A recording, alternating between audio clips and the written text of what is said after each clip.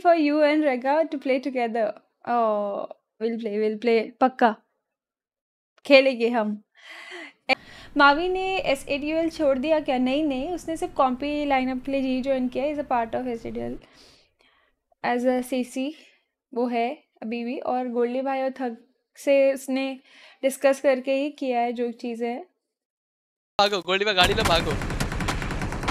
गोल्डी में गाड़ी लो भागो गोल्डी में गाड़ी लो भागो कमरे के अंदर आ रहा हूँ कमरे के अंदर आ रहा हूँ गोल्डी में गाड़ी लो भागो वैसे वो डैड है आप थोड़ा सा लाइक कर लो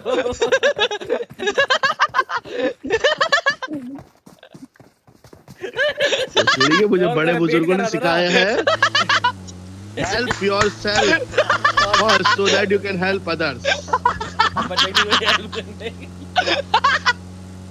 क्या था गोल्डी भाई? सीढ़ी के कमरे के अंदर आओ कमरे के अंदर आके तुम क्या गपा गप करोगे मुझसे सीढ़ी के आवाज़ से के